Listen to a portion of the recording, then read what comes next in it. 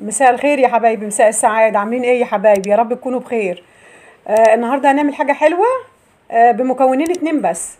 أنا جبت بسكوت آه ميري صيامي وعندنا هناخد عشر معالق آه كريم شانتيه هنحطهم في البولة هنعد مع بعض عشرة بس. أنا عديتهم عشرة بالظبط. آه دي كوباية مية كنت حطاها في الفريزر تلجتها وحطيت معلقتين سكر ودوبتهم. وهنحطها كلها على الكريم شانتيه. هضرب بقى بالمضرب. عندنا مضرب يدوي. شغال. هضربهم جامد. يدوني القوام المطلوب. هما لقيتهم تقال. حطيت شوية برضو إيه مية متلجة تاني. هنضربهم كده جامد. أيوه. الخليط كده جميل قوي. لو بالمضرب الكهرباء كان هيدينا كثافة أعلى من كده بس الحمد لله ده اللي موجود نشكر ربنا. آه أنا جبت بولة الصغننة ديت هحط فيها نص معلقة نسكافيه في ربعها تقريبا مية. هدوبهم جامد.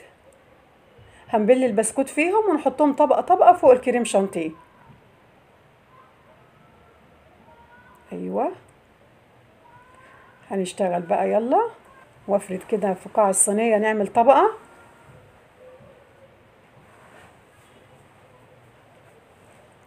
آه هترص هنرص كده في في الصينية طبقة بسكوت فوق الكريم شانتيه.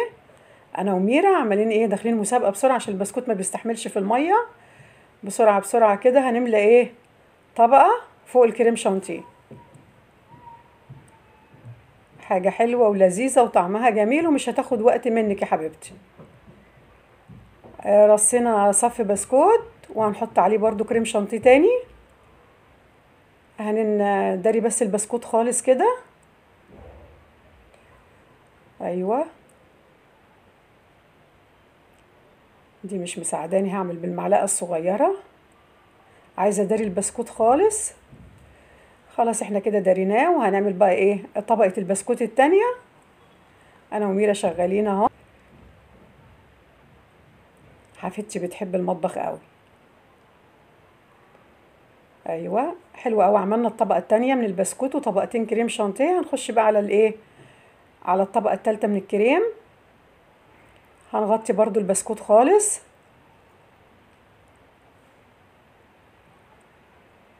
هنحط حبة حبة كده ونداري بيهم الإيه؟ البسكوت. خلاص إحنا دارينا الصف ده كده خلاص.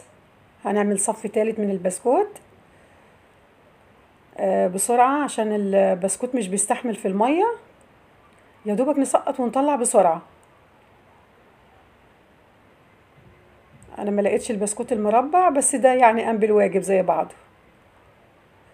خلاص إحنا قربنا نخلص الصف التالت أهو.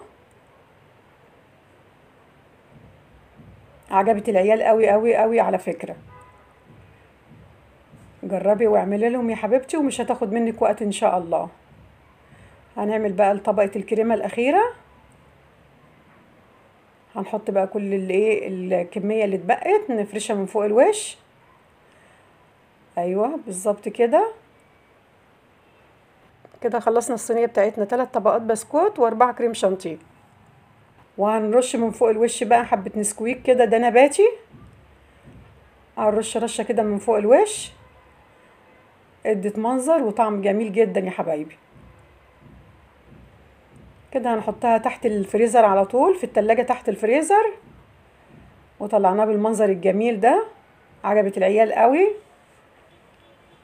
هنقطعها بالمنظر ده.